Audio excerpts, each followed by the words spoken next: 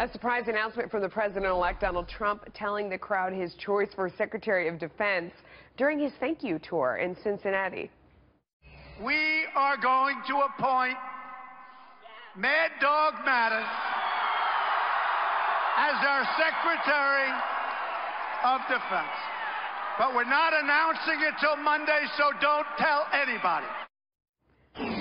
Pretty funny. Here now is Lieutenant General Thomas McInerney, a Fox News military analyst. Thank you so much for joining us. So, of course, everyone immediately brings up the idea that a person can't be appointed as Secretary of Defense within seven years after relief from active duty. Why is that, by the way? Well, that's part of our uh, civilian control tradition, Melissa. But the fact is, uh, they put it in there just so you wouldn't indiscriminately do it. Uh, General Mattis will have no problems getting that waived, and he'll have no problems with confirmation. Senator Kirsten Gillibrand disagrees. I mean, she was one of the first to stand up and say that she has nothing but respect for him, but it's in there for a reason, like you said, to separate, you know, the military from uh, and have civilian control over it. So she's not willing to put that waiver in. Um, does she have a point? No. The fact is, we've been, we, Melissa, we've been at war 15 years. We need someone to get in there and solve this war and close it down and defeat radical Islam. If we listened to Kirsten Gillibrand, we'd be at war for 100 years.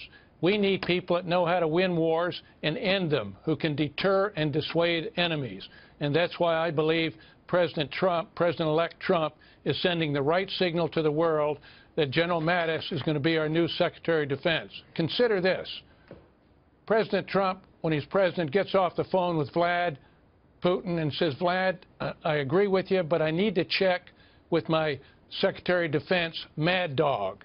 now, just that alone is worth a deterrent wing of B-21 new nuclear bombers. Yeah. We want to deter our enemies. So that's why I think this is the right choice. Yeah, I, I can imagine him calling him Vlad as well. Um, that makes a lot of sense to me. Do, do you think that General Mattis, what, how is his approach differently? I mean, obviously from your tone, you think he's going to be very aggressive. Um, but he's also, you know, very cerebral and thoughtful. How do you think his approach is going to be different from what we've done?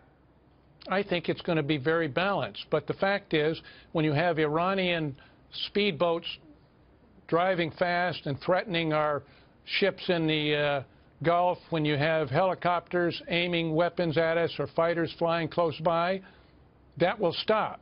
Because he'll tell them, if you take any provocative action towards us, we're going to shoot you down. That will stop. Many of the other things that the Iranians are doing in the Middle East will stop. And I assure you, within 30 to 60 days from the 20th of January, ISIS will no longer be called a caliphate. Yeah. Uh, I hope you're right. General, thank you for coming on. We really appreciate it. Thank you.